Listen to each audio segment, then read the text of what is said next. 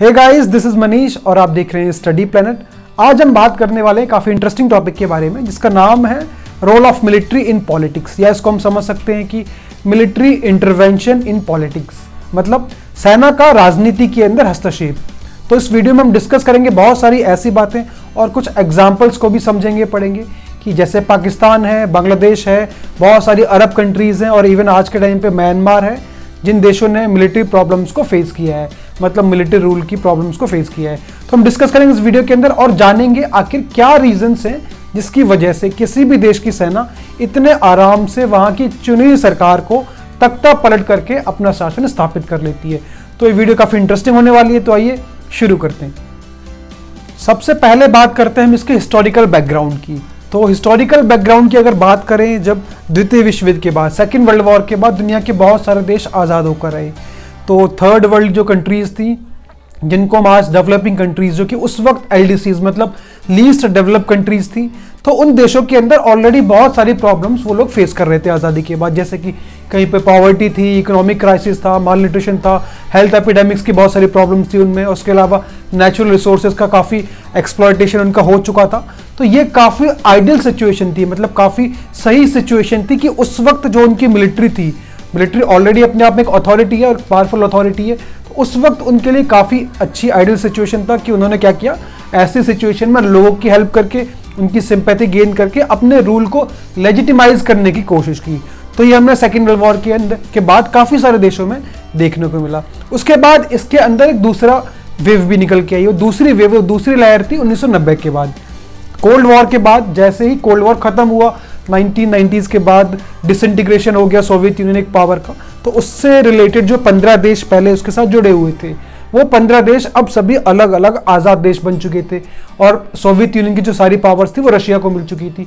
तो रशिया तो अपने आप में काफ़ी मज़बूत था, लेकिन जो बाकी 15 स्टेट्स थी 15 राज्य थे, वो सोवियत यूनियन से जब अलग हुए तो उनके अंदर भी कोई कानून व्यवस्था नाम की चीज़ नहीं थी। किसी को नहीं पता था कि आज़ादी के बाद की इनका जो रूल है वो किसके हाथ में जाने वाला है या किसकी वहाँ पर सत्ता आने वाली है? और ऐसे में हमने देखा भी बहुत सारी अरब कंट्रीज़ भी थी इस वक्त। 2011 तक हमने काफ़ी लेट तक देखा कि वहाँ पर काफ़ी सारे आंदोलन हुए थे प्रो डेमोक्रेसी मूवमेंट के अंदर।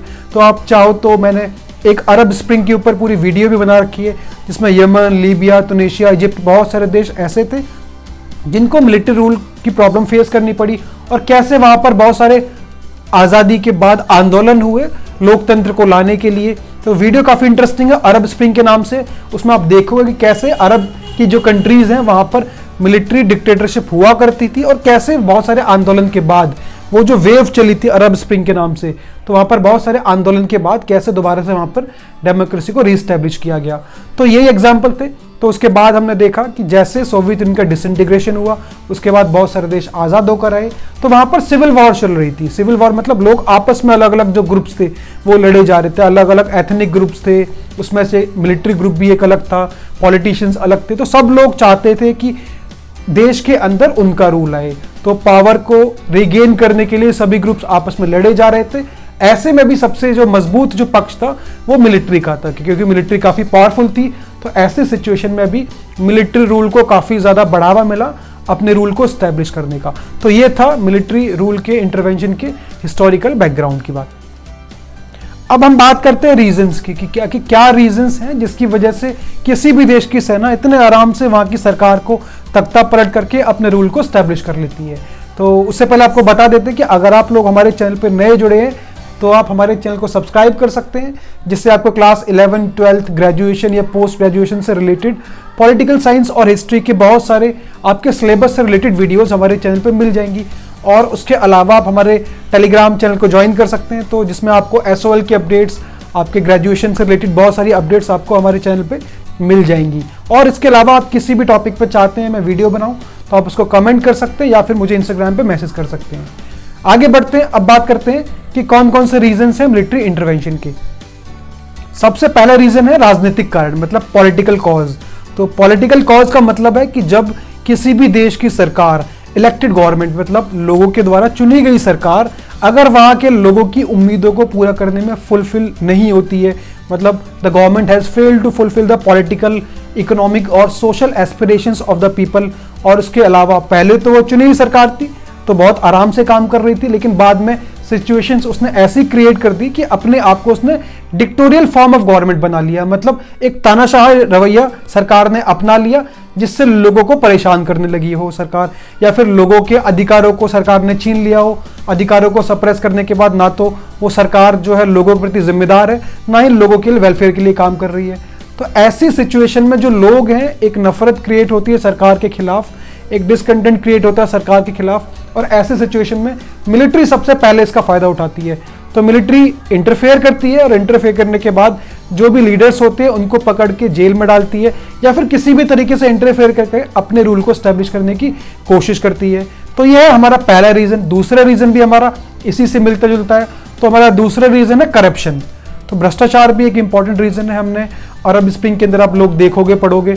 तो अरब स्प्रिंग के अंदर सबसे कॉमन प्रॉब्लम ये थी कि जब अरब की जो कंट्रीज़ थी तुनेशिया वगैरह इजिप्ट यमन वगैरह तो इन सब देशों में सबसे बड़ी प्रॉब्लम करप्शन एक काफ़ी बड़ा रीज़न था कि जो सरकार है, वो एक तानाशाही सरकार रूप ऑलरेडी ले चुकी है। उसके बाद उसके बहुत सारे करप्शन के केसेस निकल कर आते हैं। तो एक तरीके से हम समझ सकते हैं, जो सरकार है, वो लोगों के टैक्सेस का पैसा लोगों के वेलफेयर में ना इस्तेमाल करके अपने प्रॉफिट के लिए इस्तेमाल करती है, अपने आप को मज़बूत बनाती है। तो ये भी एक सिचुएशन होती है जब सिचुएशन काफ़ी ख़राब हो जाती है और सरकार जो है संविधानिक तरीके से काम ना करके करप्शन कर रही होती, कर रही होती है और लॉ एंड ऑर्डर का फेलियर हो जाता है। तो ऐसे सिचुएशन में भी क्या करती है? मिलिट्री इंटरफेयर करती है और इंटरफेयर करने के बाद जो भी करप्टेड लीडर्स होते हैं, उनको सीधे तौर पर अरेस्ट कर लेती है और रूल क्रिएट करने की कोशिश करती है। और ऐसे सिचुएशन में जो आम आदमी है, वहाँ के जो लोग भी हैं, वो भी मिलिट्री के रूल को लेजिटिमाइज करने की कोशिश करते हैं और कोई भी उसका अपोज नहीं करता है। अब हम बात करते हैं अगले रीजन की। तो अगला रीजन भी काफ़ी इंपॉर्टेंट है, वो है मिलिट्री एंड पॉलिटिकल कोलेशन कि जब सेना और राजनीति का गठजोड़ हो जाता है। वैसे तो दोनों का अलग अलग रास्ते हैं और अलग अलग काम है। सेना का काम है राज्य की रक्षा करना और पॉलिटिशियंस का पॉलिटिक्स का काम है राज्य को चलाना, जो कि लोगों के द्वारा चुनी गई एक सरकार हो। लेकिन जब इनके बीच में एक लाइन होती है जो इनको अलग करती है जब वो लाइन ब्लर हो जाती है। ब्लर कब हो जाती है कि जब ये दोनों आपस में गठजोड़ बना लेते हैं अपने अपने फायदों को उठाने के लिए। जैसे सरकार जो है पॉलिटिक्स का इस्तेमाल करती है मतलब मिलिट्री का इस्तेमाल करेगी अपने रूल को बनाए रखने के लिए, और दूसरी तरफ़ मिलिट्री भी इसका इस्तेमाल करेगी सरकार का कि जल्दी से जल्दी प्रमोशन पाने के लिए। जैसे मिलिट्री के अंदर कुछ लालची लीडर्स होंगे जो हमेशा जल्दी प्रमोशन पाने के लिए सरकार के साथ जुड़े हुए होंगे, या फिर उनकी कुछ महत्वाकांक्षा होंगी कि आर्मी से रिटायर होने के बाद मतलब आर्म फोर्सेस से रिटायर होने के बाद उनको राजनीति के अंदर कोई इंपॉर्टेंट पोस्ट मिल जाएगी। तो ऐसी सिचुएशन सबसे खराब होती है। जब क्या होता है, वो जो जो लाइन होती है एक, जो रेखा होती है, जो कि अलग अलग कर रही होती है सरकार को सेना से। लेकिन जब वो लाइन खराब हो जाती है तो ऐसे में एक दूसरे के कामकाज के अंदर दोनों ही जो फोर्सेज हैं जो जो दोनों ही पार्टीज़ हैं, वो बहुत आराम से इंटरफेयर कर सकती हैं। तो ये भी काफ़ी आइडियल सिचुएशन बन जाती है, जब कोई भी सेना सरकार का तख्ता पलट करके अपने रूल को स्टैब्लिश कर ले। अब हम बात करते हैं आखिरी और सबसे इंपॉर्टेंट रीजन की। और सबसे इंपॉर्टेंट रीजन है पॉपुलैरिटी मतलब लोकप्रियता। ऐसा बहुत देशों में देखने को मिला है जहाँ पर सेना की जो लोकप्रियता है, सेना के जो शासक है जो लीडर्स हैं, उनकी लोकप्रियता सरकार से काफ़ी ज़्यादा होती है। हम एग्ज़ाम्पल के आपको देते हैं एक छोटा सा, इंडिया और पाकिस्तान का अगर आप देखो। तो भारत के अंदर आप पूछोगे कि भारत का पीएम कौन है या फिर अगला प्राइम मिनिस्टर कौन बन सकता है? तो इसमें लोगों को बहुत ज़्यादा क्यूरियोसिटी रहती है और इंटरेस्ट रहता है। अगर आप पूछो कि भारत का अगला मिलिट्री जनरल कौन बनने वाला है तो शायद लोग इसके बारे में इंटरेस्टेड ना हो या लोगों को इसकी जानकारी ना हो। लेकिन पाकिस्तान में या फिर बांग्लादेश में जब मिलिट्री रूल था तो इसका अपोजिट था। लोगों को मिलिट्री के अंदर ज़्यादा इंटरेस्ट था, लोगों को मिलिट्री के ऊपर ज़्यादा भरोसा था, ज़्यादा क्यूरियोसिटी थी इस बात को जानने के लिए कि अगला मिलिट्री जनरल कौन बनने वाला है, वो कितना स्ट्रांग है। तो ये भी काफ़ी इंपॉर्टेंट फैक्टर प्ले करता है मिलिट्री रूल के अंदर क्योंकि जब जिस देश के अंदर जो मिलिट्री लीडर्स हैं, उनकी पॉपुलैरिटी सरकार से ज़्यादा बढ़ जाएगी तो ऐसे केस में बहुत आराम से देखने को मिलेगा कि वो सरकार का तख्ता पलट करके अपना रूल को स्टैब्लिश कर लेंगे। इसके अलावा म्यांमार भी काफ़ी अच्छा एग्ज़ाम्पल है और काफ़ी इंटरेस्टिंग एग्ज़ाम्पल है म्यांमार का, कि कैसे म्यांमार के अंदर एक सेना ने पूरी सरकार का तख्ता पलट कर दिया। अब चाहो तो म्यांमार की पूरी वीडियो मैंने बना रखी है, बहुत डिटेल में उसका डिस्क्रिप्शन आपको, जो लिंक है डिस्क्रिप्शन में मिल जाएगा, आप उसको देख सकते हैं। तो ये पूरा टॉपिक था हमारा मिलिट्री रूल के ऊपर। आई होप आपको टॉपिक समझ आया होगा।